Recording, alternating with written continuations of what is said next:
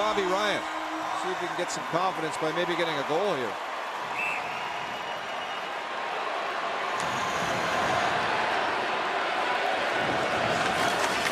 Ryan with a great deke, and he scores.